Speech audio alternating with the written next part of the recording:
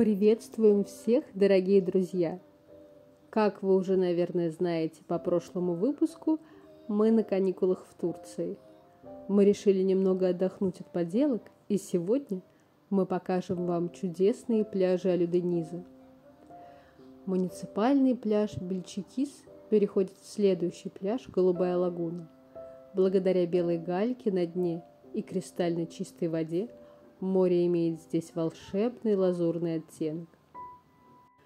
В 1983 году вся территория Алюдениза была признана национальным парком-заповедником.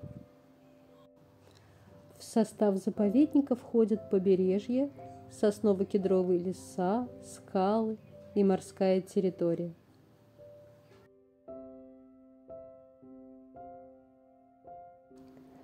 Ну вот, пожалуй, и все. До встречи в следующих выпусках.